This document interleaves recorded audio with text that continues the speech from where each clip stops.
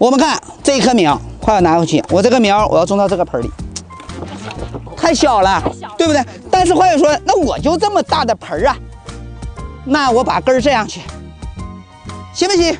不行。你想，你给你放到一个很小的空间，蜷缩在里面，你能舒服吗？那肯定不舒服。那我们这时候要对根系的适当修剪，怎么修剪？你看啊，上面这些主根千万不要动，你不要这么样，咔嚓一下，为了好栽，咔嚓一下就剪了，那肯定不行。我们适当的修剪，你看，把尖上这些细的剪掉，你看主体的根还在，那这样你看，哎，顺溜了，能栽进来了。好了，根剪了，枝条，这样的枝条，在我们专业的认知里面，我们认为的好，对于我们花友是有误解的。花友认为，哎，这枝条都是好的呀。但是你像这一棵裸根苗，我们是怎么做？你看，不要啊，为什么太瘦了？你看这枝条，不要啊。那这个剪成这么长的，这个这么长能好吗？不要啊。剪掉啊！你看这块还有点伤口，话说啊，这个伤口我受不了，咔嚓一下不就完了吗？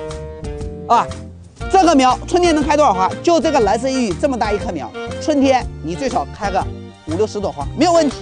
当你这个空间不是特别大，蓝雨它是横着长的呀。你看我们种进来，这个盆冠幅现在直接二十多了，长出来就这么大了。这边它二十，这边摊这么大，那我没有这么大空间怎么办？你看。剪掉，剪掉，然后能开多少朵花？数芽还是三个，还是三个，还是三个，没有什么影响。无非就是我们不剪那个，它枝条是长这么大冠幅，开了五六十朵花。我剪了，冠幅长这么大，还是五六十朵花，集中了。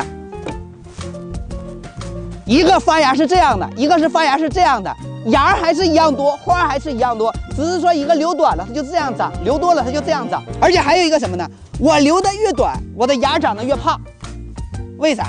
根系不变，我枝条留的越短，养分消耗的就越少，留下来的就越多。那么就像我说的，我去法国梅阳公司生产的盆花怎么干？哦，你你看清楚了啊，是这么玩的，这么玩为啥呢？来。给大家演示一下啊！不要急，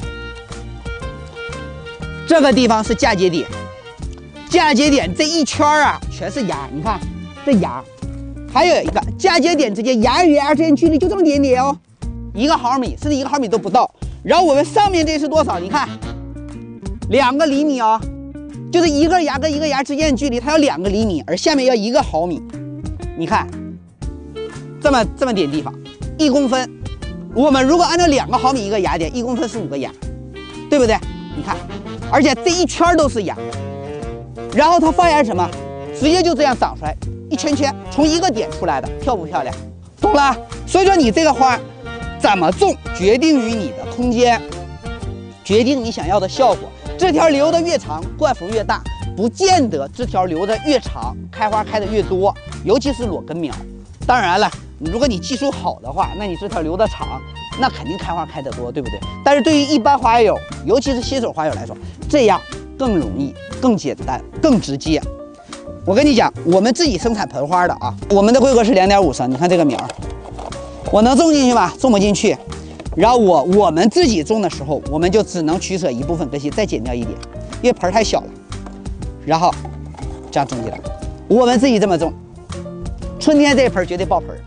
就这么简单，懂了？也就是说，在我们花友有条件用大盆的前提下，根系尽量不要剪。当你实在种到小盆里面，你可以剪。